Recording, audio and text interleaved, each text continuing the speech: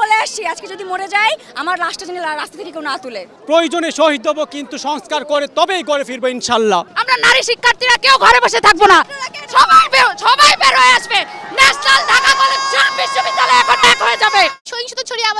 ঢুকানোর চেষ্টা করছে, কিন্তু এটা এটা হবে না। বৃথা যাবে।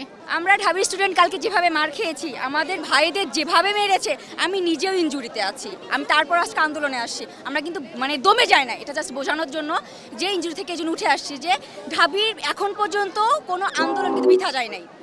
এখন পর্যন্ত বাবাকে বলে আসছি, আজকে যদি মরে যাই, আমার লাশটা যেন রাস্তা থেকে কেউ না তুলে। আমার ছাত্রদল যখন বিজয় উল্লাস নিয়ে বের হবে, আমাকেও তখন যদি বিজয় ঘোষণা করে আমার লাশটা দিন তারা দাফন করে। এটা ভাষা থেকে বলে আসছি। এখন কি হবে? সেটা পরে দেখা যাবে। ইনশাল্লাহ। নারী শিক্ষার্থীদের গায়ে হামলা করে ছাত্রলীগ সবচেয়ে নিম্নমানের কাজ করছে। কোনোদিন এমন তো করে নাই। পাকিস্তানি আমলে আমলাতন্ত্র। নারী শিক্ষার্থীর উপর এরকম হামলা করে না। আমরা শুরু থেকেই বলে আসছি, এটা একটা অরাজনৈতিক আন্দোলন এবং এই আন্দোলন যৌক্তিক শিক্ষার্থীদের আন্দোলন। এই আন্দোলনে দেশে আপামর জনসাধারণের একটা ভূমিকা আছে এবং সমর্থন আছে, যেটা আমরা সবসময় পেয়েছি। আমরা যদিও বলেছি এটা একটা অরাজনৈতিক আন্দোলন, কিন্তু আপনারা কালকে দেখেছেন, আমাদের কোনোই ইচ্ছা ছিল না মারামারি করার। একটা নির্দিষ্ট গোষ্ঠী, একটা নির্দিষ্ট দল, আমাদের নাম বলতে অসুবিধা নেই, সেটা ছাত্রলীগ, তারা এই আন্দোলনকে পরিকল্পিতভাবে রাজনৈতিক বানিয়েছে।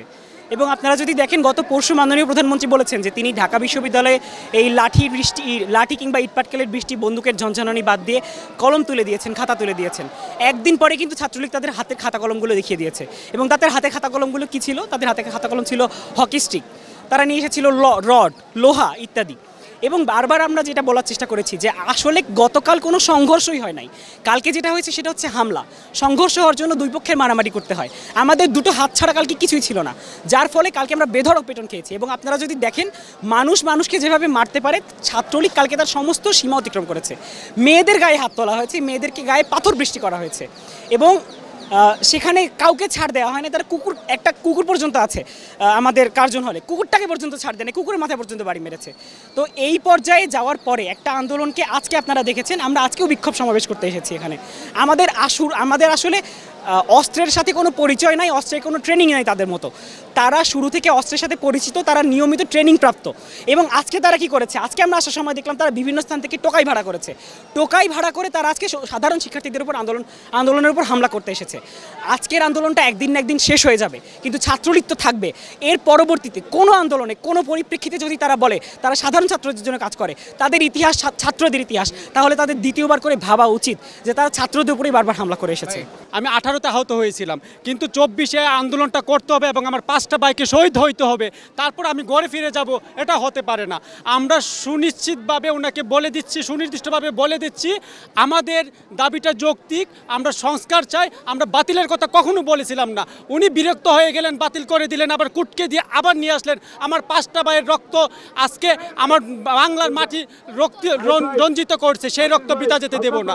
আমরা অবশ্যই অবশ্যই প্রয়োজনে শহীদ দেবো কিন্তু সংস্কার করে তবেই করে ফিরবো ইনশাল্লাহ। এই যে ছাত্রদের গায়ে, ছাত্রীদের গায়ে হাত তোলা হয়েছে, এটা এটা কিন্তু সরকার অবশ্যই সরকারের কানে গেছে কিন্তু সরকার কেন স্টেপ নিচ্ছে না? তারা কেন পদক্ষেপ নিচ্ছে? সরকার কিন্তু একটা নারী নারীর গায়ে এভাবে হাত করা হচ্ছে হাত দিয়েছে কিন্তু তারা কোনো পদক্ষেপ নিচ্ছে না কেন নিচ্ছে না? সরকার কেন চুপ করে আছে?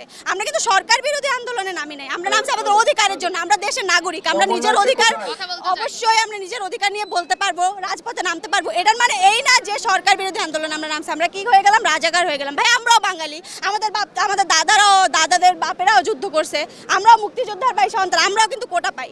কিন্তু আমরা কেন আসছি? আমরা যাতে মেধার মূল্যায়নটা হয়, এজন্যই আসছি, আর কিছুই না।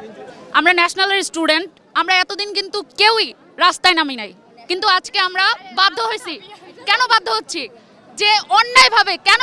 যেহেতু হলে মেয়েরাও সেফ না, ছেলেরাও সেফ না, এটা কি অন্যায় হচ্ছে? কোটার দাবি না মানতে পারতেন, আপনি একটা যৌক্তিক সমাধান দিতেন, কিন্তু কোনো সমাধান না দিয়ে এটা কোনো হামলা এটা মানুষের উপর মেনে নেওয়া যায় না। আমরা নারী শিক্ষার্থীরা কেউ ঘরে বসে থাকব না। সবাই সবাই বের হয়ে আসবে। ন্যাশনাল ঢাকা কলেজ বিশ্ববিদ্যালয় এখন এক হয়ে যাবে। ওরা ভাবছে যেভাবে সহিংসতা চালালে আমরা দমে যাবে, এটা হবে না। এক যদি আমরা আরও দাঁড়াবো, আমরা কালকে আবারও দাঁড়াবো। এভাবে এভাবে সহিংসতা ছড়িয়ে আমাদের মধ্যে ভয় ঢুকানোর চেষ্টা করছে, কিন্তু এটা এটা হবে না। বিথা যাবে।